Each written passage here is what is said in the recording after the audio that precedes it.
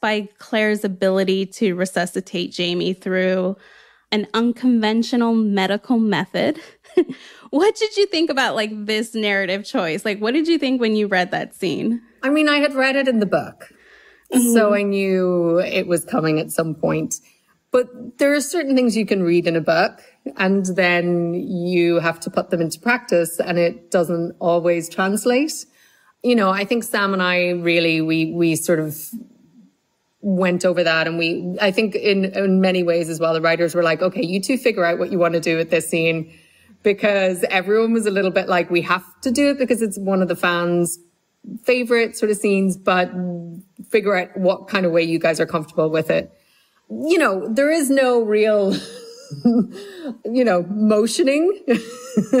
I think that was, uh, they sort of alluded to that more in the camera than, than actually happened. But what we really wanted to do, and I think, you know, Sam and I wanted to find a really intimate and really grounded way of trying to portray this scene and, you know, it took me back to the scene with Master Raymond in L'Hôpital des Anges when Claire was dying.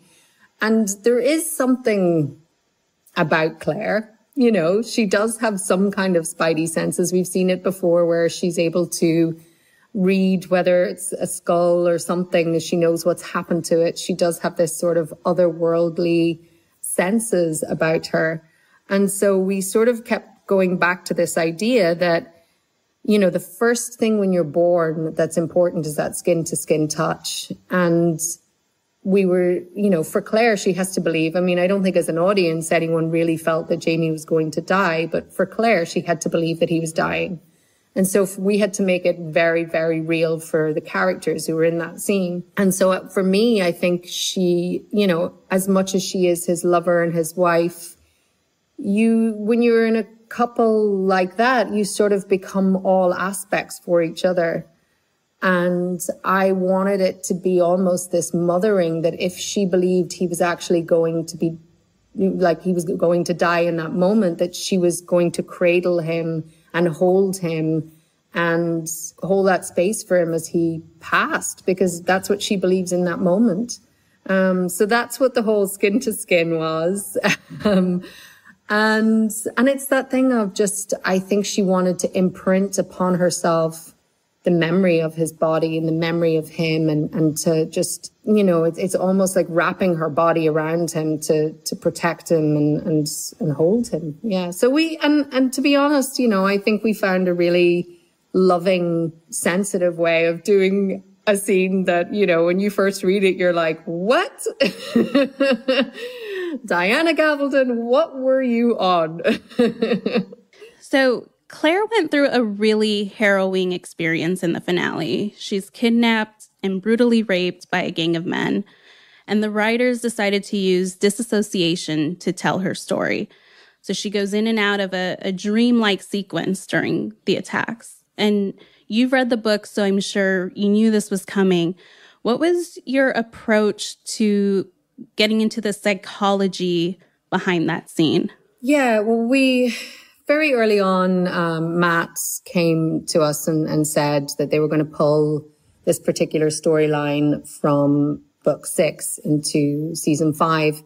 And he talked a little about this idea that he had about not wanting to show the rape or not wanting to be kind of gratuitous about it and that he would that he had this idea to sort of show this disassociative state that she would go somewhere else in her mind when it was happening. And I thought that that was, first of all, a really interesting way of doing it. Um, but without reading scripts, you always have this worry about, well, okay, but how are you going to do it? And I also really wanted to sort of protect Claire in the fact that, yes, why do we need to see another rape? But also if you're going to do it, then we can't just gloss over it and that somehow Claire doesn't get affected. Because one of the things that I love about Claire is that everyone talks about what a strong character she is, but there's a danger in that then people sort of make that character Teflon and that, you know, somehow, oh, that could happen to her, but it wouldn't really stick and it wouldn't really affect her. And I, and I thought it was really important to show that no matter how strong you are, no matter who you are, that if you go through something like this, it, first of all, you, you don't know how your body is going to react. You don't know how you're going to be able to process it. And nobody comes out of anything like this unscathed.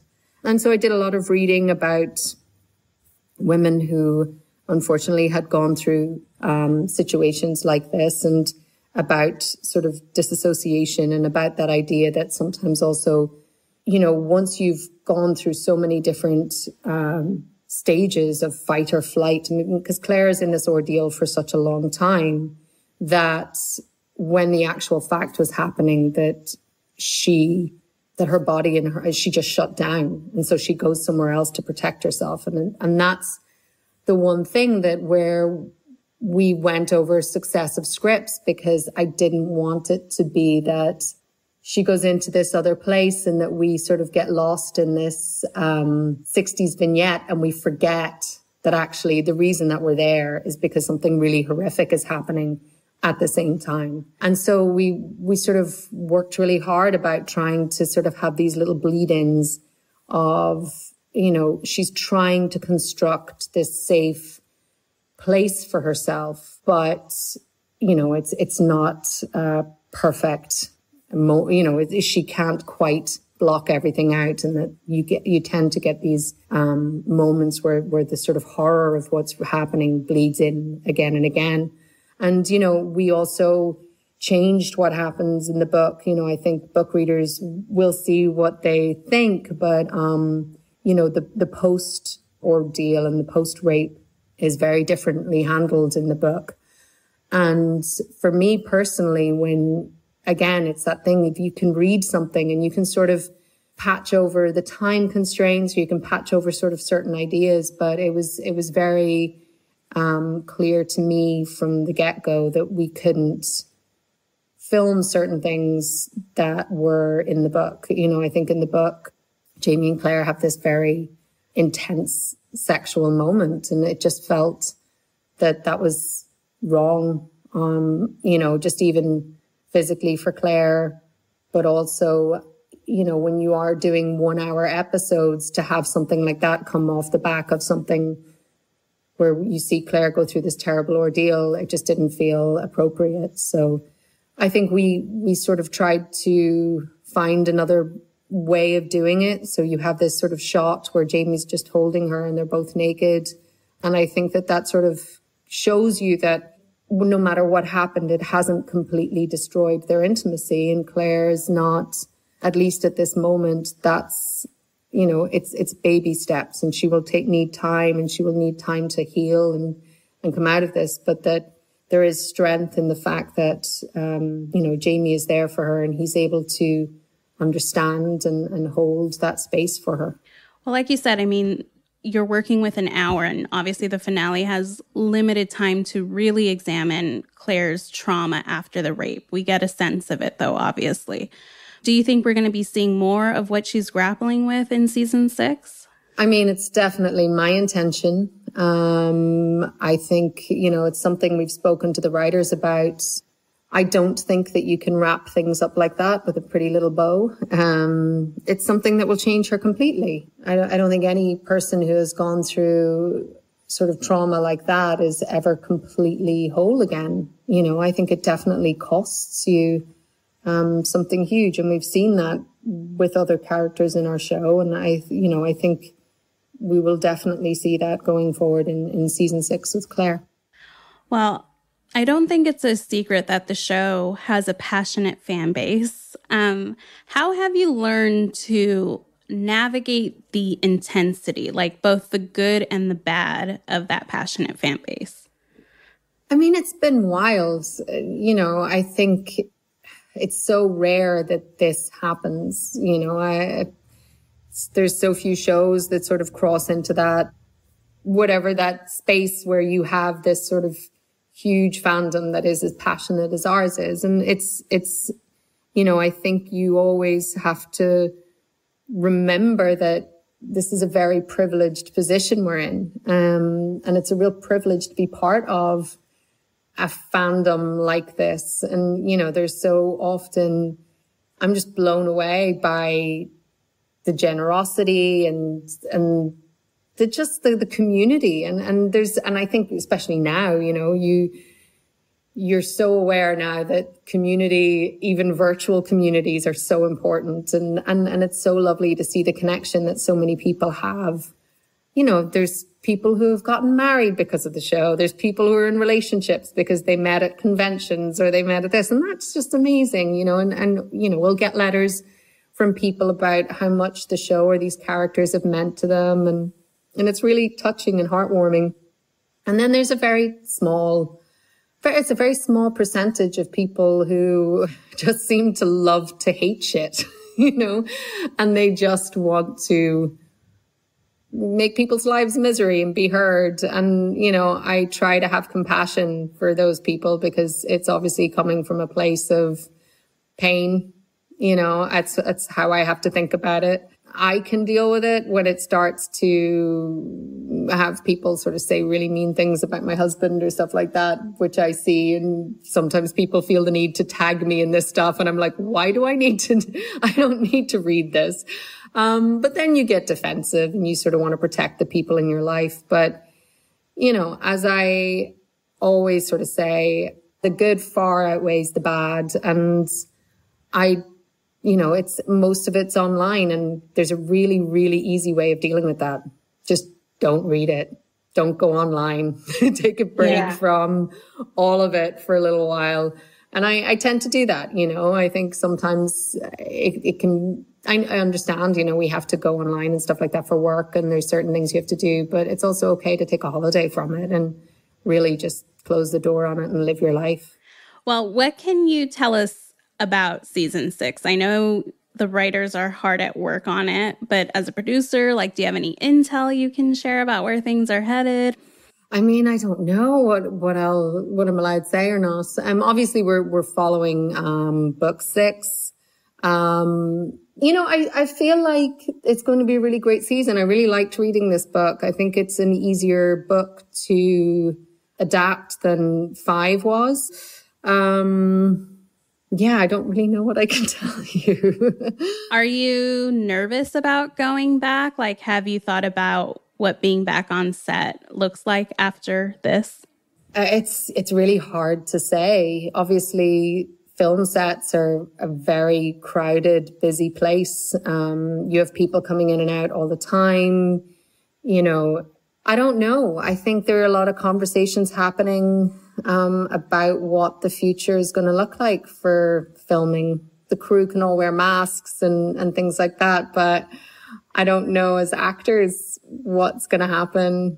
Is everybody except for who's on camera going to be in PPE and then they whip it all off and it's your turn? You know, are we going to have panes of glass between us during intimate scenes? I don't know. it, it, the, the future could look very, very different, Yvonne. I think if anyone can make a sex scene look sensual six feet apart, it's Outlander.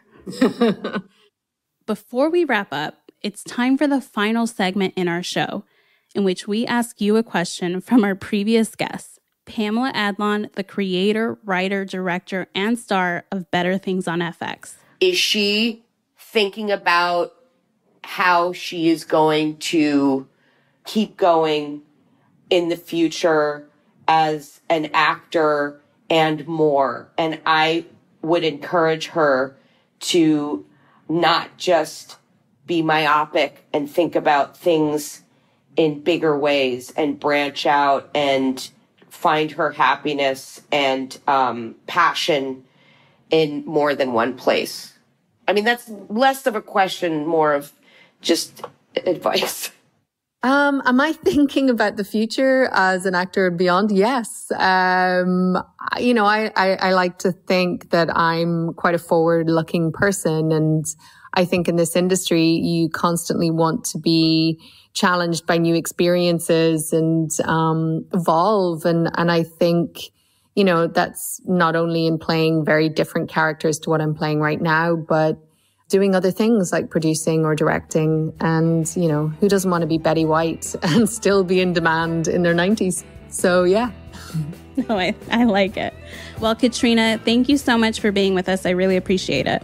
Thank you so much, Yvonne. Really lovely chatting with you. That's it for the 10th episode of Can't Stop Watching. I'm your host, Yvonne Villarreal. Our producer is Paige Heimson, and our executive producer is Abby Fentress Swanson. Our engineer is Mike Heflin, and a special shout out to Elena Howe for booking the guests for this podcast. Come back tomorrow. We're talking to actor Tom Pelphrey. Ozark is just the dream job across every possible dimension. I mean, the entire crew is happy to be there. Everybody's friendly to each other. The atmosphere on set is so efficient and so happy and calm. All of the actors treated me like I'd been there from the beginning. I never felt like I was a guest in someone else's house. I felt like I lived there. If you like Can't Stop Watching, subscribe and leave us a five star review on Apple. Special thanks to Julia Turner, Matt Brennan, and Clint Shaw. We hope you're enjoying this podcast created by the journalists at the LA Times. Right now, access to facts has never been more important, and the Times is in the business of reporting them. Stay connected and subscribe because your subscription supports the production of podcasts like this one and our award-winning journalism. Visit latimes.com slash support LA Times to subscribe. Thanks for listening and see you tomorrow.